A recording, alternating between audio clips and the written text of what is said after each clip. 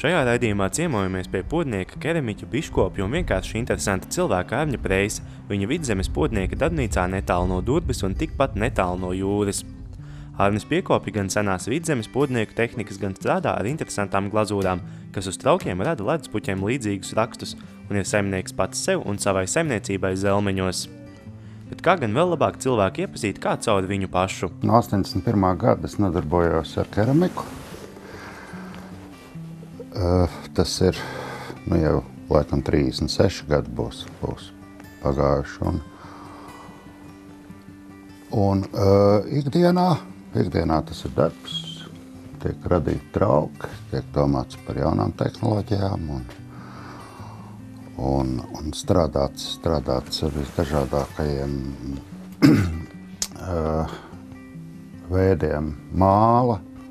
Kā jūs redzat, beidzamais ir beidzamos divus gadus izstājis ar Vācijas, Vācijas akmens masu, kur uh, ir dedzināta pie 1305 grādiem.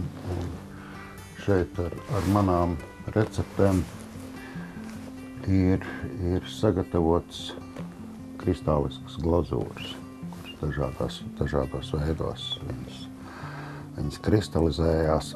Tā ir tāda samērā reta tehnoloģija. Mēs esam kādi 100-150 autori pa visu pasauli. Paralēli arī tiek strādāts ar Latvijas mālu,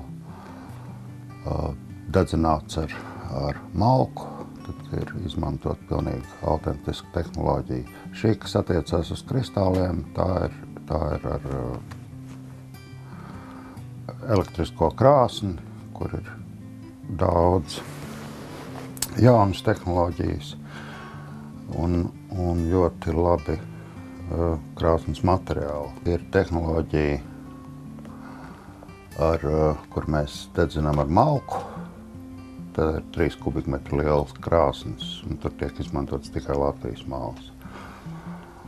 Vēl tā, kas attiecās uz globalizāciju, tad šīs te izēvielas nāk no gandrīz piecām pasaules valstīm. Te ir frita no Meksikas caur Spāniju un laukšpats no Zviedrijas, viena izēviela nāk no Peru, toties uh, galvenā izēviela smilts, kas rada stiklu, šo stiklu veidu pārklājumu, tā ir no, no vidzemes. Tas jau bija 80. gados, kad es skatījos par etam, man uh, tā, tādi tā laika jau vecmeistari veidoja, veidoja šīs glazūras, bet viņas bija ļoti, ar ļoti lielu nejaušību. Un tad es arī tā nemanot, kaut kur jau pavērās tas, tas, tas, tas pēc dzelzs priekškārt nokrišanas jau vairāk tika skatīts, kas notiek pasaulē. Un, Un tad es ieraudzīju šīs glazūras, un, un viņas ļoti brīnišķīgi viņas atklāja tādu momentu, kad aizsalst logs stikls. Tagad ar pakaļ logiem viņš tā neaizsalst, bet uh, ar parastajiem logiem viņš aizsalst ziemā, un tad iespīd iekšā saulīt un iz, izgaismojās šīs ledus puķis.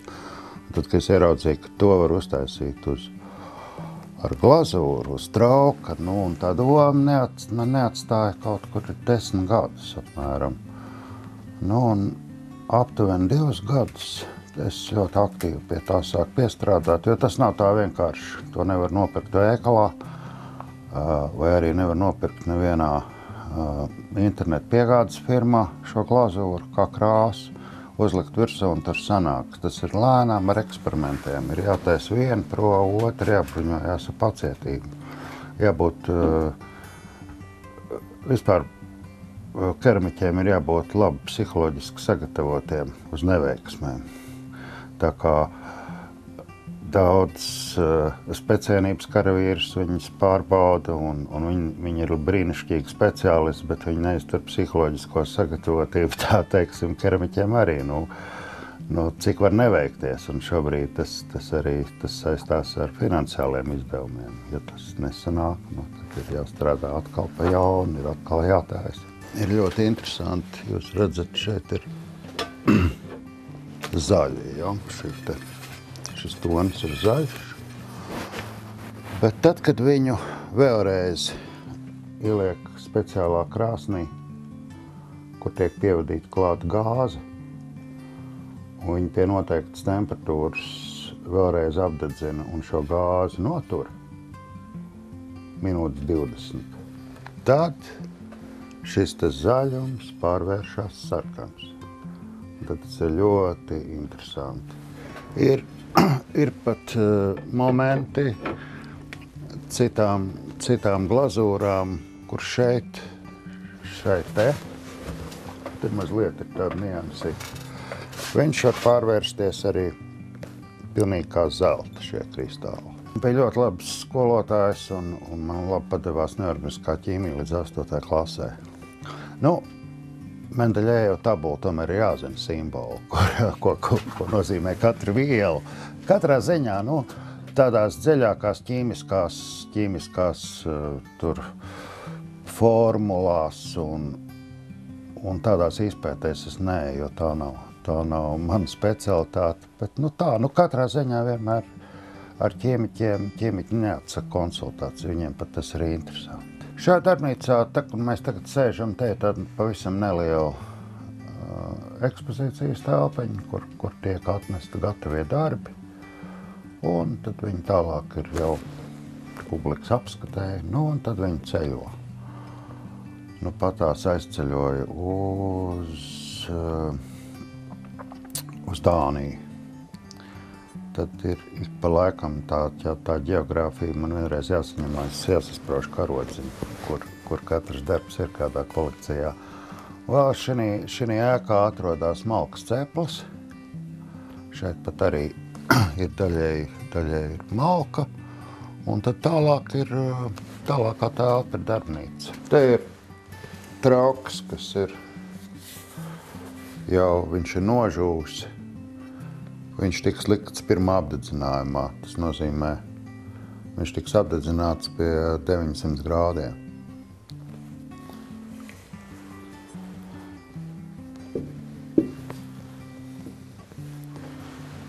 Šeit savukārt ir jau šis jau ir apdedzināts. Tas ir saņēmis pirmo biskvītu, biskvītu apdedzinājumu. Uz, uz šitā aparāta Starp citu, viņš ir taisīts Valmierā. Tas ir tāds rullis, ar ko var izrullēt milzīgu mālu plastu. Kad ieliek iekšā mālu, saliek starp lupatām, var dabūt tādu pankūku un tad var veidot šķīvi vai, vai, vai piekaltēt un veidot kaut kādas figūras. Un te ir, te ir šī krāsnes, diemžēl, no, ko es stāstīju, vai ne, kas, ko mēs viņu uztaisījām uz vietas šeit pat. Un te ir krāsnes, te ir pašas smadzenes, tā ir pat, pat vadības pults, te ir iekšā četras programmas, piecas, kuras var dabūt perfektu temperatūru, viņi nekur nešūpojās. Mūs ir pielīdzinājuši mazajiem uzņēmējiem pēc likumdošanas un, un te ir tā situācija, ka darbs darbs ir, eh, ja es strādātu kaut kur oficiālā vai bankā, vai kur tad es aizietu 9 no rīta un, un 5 nākt mājās. Un tad varētu nu, baudīt tur vakar dzīvi, kā nu kurš to izvēlās. Bet šeit ir praktiski darbā. Tu esi no tā brīža, kad tu piecelies līdz tam brīdim, kamēr tu aizēji gulēt. Lai gan nu, eh, savā laikā, kad es to sāku 81. gadā, tā bija viena no retajām legālām iespējām strādāt mājās. Kad cilvēks tā ir nu, brīvība, kur uzliek arī atbildību. Jo uh, tu no rīta vari izbaudīt to, ka tu iedzer kafiju, atnāc darbnīcā, Un tad tu, tu skaties, ko tu tam dienā darīsi un kāda ir, kāda ir darba paredzama, kas ir jāatliek, diemžēl, kas ir jādara vispirms. Tad ir arī daudz ir komunikācija pēdējos gados ir komunikācija arī internetā. Arī tas ir laika laikam jāapskatās, jo mūsu pamat, pamatlieta ir tomēr arī turisms. Un tad salīdzinoši nu, ziemā turistu ir ļoti maz. Un tad, kad kaut kas, kaut ko es jaunu uzstājos, es cenšos to nofotografēt, vai kāds man palīdz, kāds profesionāls fotogrāfs, un to nopublicē Facebookā. Un, un, un tur ir ļoti labi redzams, nu, cik ir cilvēki ir apmeklējuši, kas ir apmeklējuši, kam paticis, kam. Nu, tādas iespējas, nu, gadus 20 atpakaļ, nu, tas vienkārši bija nereāli. Un tad tie cipari ir interesanti, kad divu diennakšu laikā apmeklējums kopā ar laiku patīk ir 1735 cilvēki divu diennakšu laikā. Un es domāju, kāda man ir jātaisa akcija, kāda man ir jātaisa izstāde. Es nevienā izstādē nevaru divu dienu laikā, es domāju, pat Ņujorkā man neapmeklēt 1735 cilvēki. Mēs esam visādi mēģinājuši, pie manis var braukt arī ziemā, var, var ir bieži taisa arī kād, kādus korporatīvos pasākumus. Teiksim, cilvēks grib ordināli nosvinēt dzimšanas dienu. Viņš negrib sēdēt krogā. Viņš to pašu visu bez oficiāla var arī atpaņemt līdzi pie manis. Var, var, var iedzert kafiju, var apēst tortīti, un tad viņi veido, viņi taisa kaut ko paši. Ir tāds, tāds, tāds pasākums. Nu, un, turisti ir vis, visdažādākie. Protams, ir noplacis krievu turistu skaits, bet ar pagājušo gadu ir parādījies vācu turistu skaits. Ja gadus kādus sešus atpakaļ vācu turistiem bija tā, ka viņi, viņi, viņi tie bija pilnīgi citi, kaut kādi savādāk, teiksim, nevisai patīkami. Tad šogad, šogad, pagājušo gadu bija ļoti ļoti jauki cilvēki, kam tas tiešām interesē, kas to skatās. Un, un tad atkal ar viņiem turpinās kontaktē pašā Facebookā. Un, un, un tā viss notiek. Uh, interesanti ir tas, ka nu, ir katrs no, jau, jau ir pierasts skatīties no katras valsts. Viņi tomēr cilvēki atšķirās. Tur, tur ir uh, Igauni tie jau ir kā jau kā jau savējie un somi. Ir bijis no ļoti daudz no Jaunzēlandes kādreiz cilvēku ieskrien un, un ir Austrālija. Agrākos gadus tad parādījās Kazahstāna, Uzbekija, šis, šis rajons. Un katru gadu iebrauc kāds no saulēnās televīzijas. Pasaule ir piegāsta pilna ar preci un faktiski pilna ar piegāstu ar mēsliem. Ja jūs to pašu darbu ieliksiet veikalā, kaut kur ziedveikalā, tas nevienam neinteresē. Viņiem nu, jau ir tik tālu, ka jau katram traukam ir jābūt stāstam, bezmaz arī jādomā stāsts. Un, un, un, protams, tas viss ir apgrūtinoši. Bet, nu, cilvēkam reāli interesē, ah, te ir cilvēks, viņš taisa, viņš to redz tiešām, ka tas, tas, ir, tas ir izgatavots, ka tev to nav taisījis kāds, kāds teiksim, tā, tā lieta nav taisīta netālu no Šanhajas kādā Ķīnas cietumā, vai ne? Tur sastāmpots konteiners. Un tā mēs runājam par cenām, nu tad ar vienmēr es saku, nu, nu pasūtiet no Ķīnas ja jūs gribat šausmīgi daudz un, un lēti. Nu, vienīgais tur tā nianses, ka nu, nu, Ķīnas konteiners maksā 450 tūkstoši eiro. Viena šī partija, un tad, ja viņš to trauciņu gribu, gribēs zilu, tad viņš viņu dabūs pēc tā pusgada tikai zaļu. Un, nu, nu, tur, ir, tur ir katrā ziņā uzņēmējiem cita spēle. Nu, es īpaši necenšos. Ziniet, tas ir es vairāk cenšos godīgi pastāstīt, kā tas ir tapis, no kā tapis, kas tas ir par materiālu, kā tas ir veidots. Nu, tas, tas arī ir labi. Jā. Tad ir cilvēks uzreiz to, nu, uztver savādāk. Vai tas, teiksim, trauks ir dedzināts ugunī ar, ar, ar, ar melnās keramikas tehnoloģiju, vai tas ir taisīts pie milzīgas augstas temperatūras. Jo arī augstajām temperatūrām ir mēdz būt arī uguns apdedzināšana, kas ir ļoti interesanti, jo tās tehnoloģijas ir ļoti dažādas. Un tā, ja nu cilvēkam ir pavisam tāda plaša pastiprināta interese, es parasti saku, ejiet uz, uz YouTube, uzlieciet atslēgas vārdu, tur ir viss, kas tur ir. Tur ir prātam neaptverama informācija, kā tā ir Āfrikā, kā tā ir uh, Arābi, kā tā ir Amerikā. Starp citu, Amerika ir ļoti, ļoti, ļoti spēcīga, ļoti spēcīga autora keramiķi ir jābūt kaut kādai pamata koncepcijai, ko tu tā esi. Man teiksim, tā ir eh, vairāk tā ir vidzemes keramika, eh, vecā vidzemes keramika, kas nebija piesārņota. Bija situācija, ka, teiksim, kā es teicu, 19. gadsimtā bija vidzemes podniecības tāds milzīgs uzplaukums. Ir milzīgi kritumi. Tas ir tad, kad notiek kāri, pārmaiņas, veidojās, pārveidojās valsts sabiedriskā iekārta, pārveidojās pilnīgi viss. Bet kaut kā, kaut kā keramika tomēr ir turējusies. Ļoti bija, es zinu, valsts, kur bija pilnībā izzudusi. Un pēdējos desmit gadus ir, ir, ir milzīgi atkal cēlusies. Citās iet uz leju. Jo šī ir vecākā profesija tiešām vecākā. Kad man ir eh, tad polemika ar, ar garīdzniekiem, tad es vienmēr atgādinu, ka podnieki ir strādājuši vēl 4000 pirms jēzus dzimšanas. Nu, tas tā mistiski, kad tas ir gājis gadu cauri, cauri, nu, principā no 4, Latvijā 4000 gadus atpakaļ līdz mūsdienām. 9. gadsimtenī tad ienāca podnieku ripa, tad to amatu pārņēma vīrieši, līdz tam taisīja sievietes.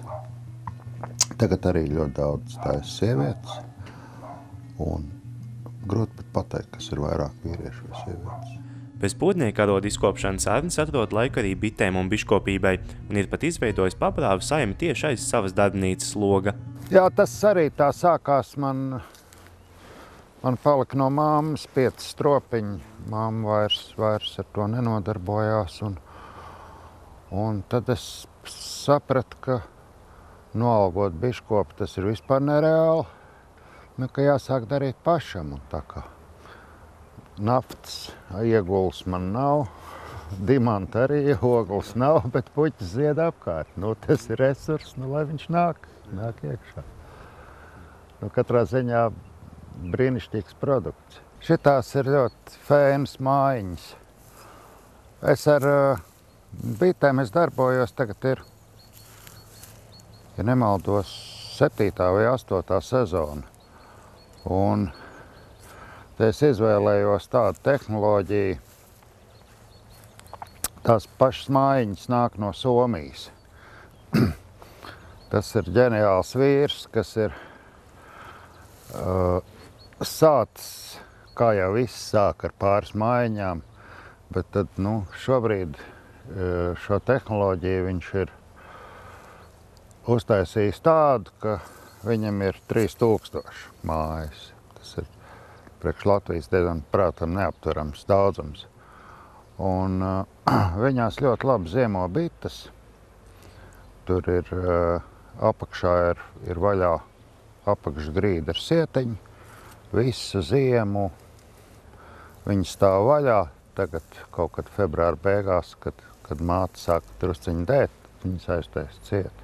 Tagad praktiski šitā ir pati foršākā sezona, kad apmēram nu jau 6. 7. dienu bites nes ziedputekšņus.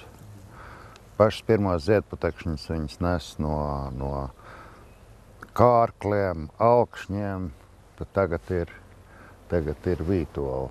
Mēs ļoti gaidījām to brīdi, kad vītola sāks ziedēt.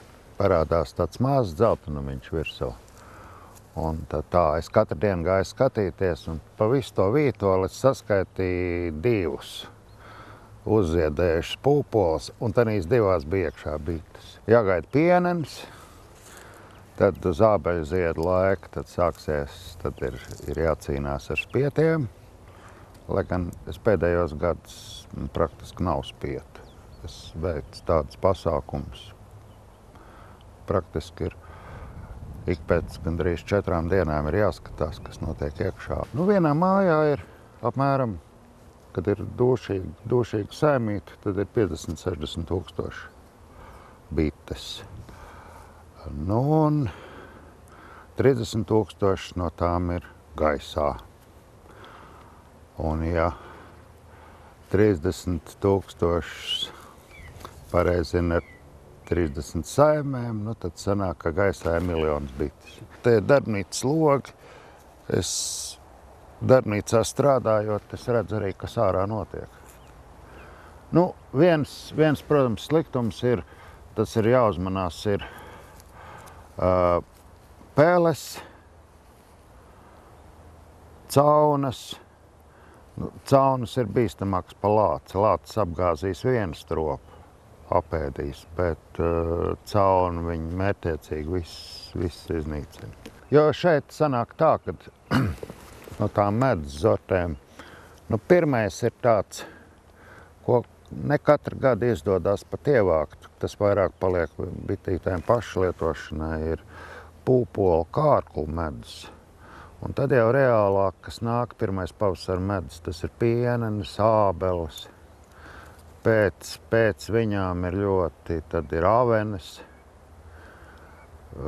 Pēc avenēm tad jau ir, ir āboliņš, Āboliņš te ir apkārt aptuveni 70 hektāru sētās platības. Bet nevar taču doties ciemos pie podnieka bez pašas podnieka virpas iedarbināšanas. Šitie ir divi galvenie instrumenti. Tās podnieka ripas.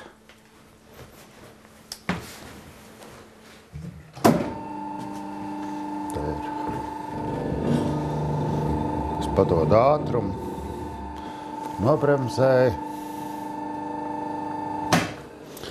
Tepat tās ir ūdens. Un, un te jau kaut kas, ja jau es te esmu apsēdies, tad, tad kaut kas jāuztēs. Un īstenam podniekam arī suns pie māla ir pieredzināts un pat palīdz atbrīvoties no kāda gabaliņa.